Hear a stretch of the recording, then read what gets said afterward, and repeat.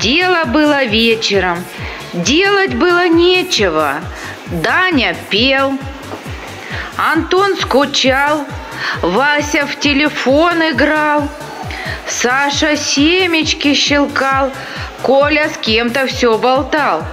И сказал ребятам Вася, Мы уже ведь в пятом классе стали взрослыми совсем. А давайте без проблем елку мы сейчас достанем. Будем дом украшать, вместе Новый год встречать.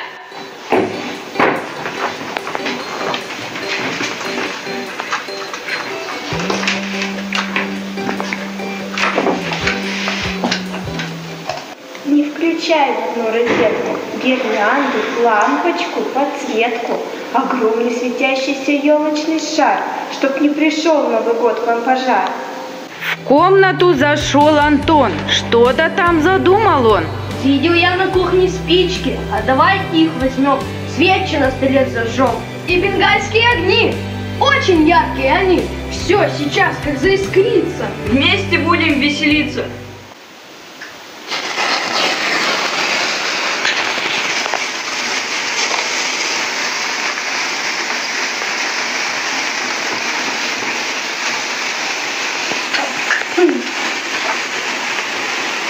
Ай, конфеты.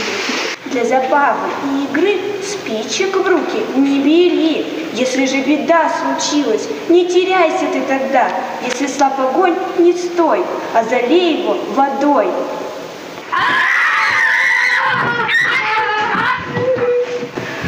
И под кроватью не прячься, учти, что от огня просто так не уйти. Не оставайся в квартире с огнем, выбирайся доступным путем. Мокрым платком нос и рот завяжи, к двери входной через дым поспеши.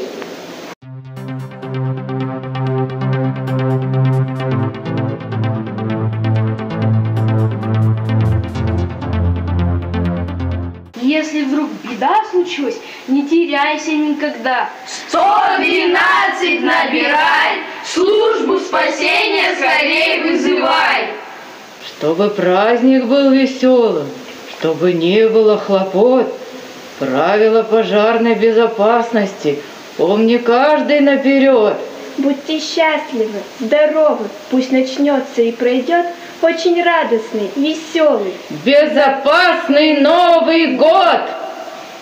Безопасный!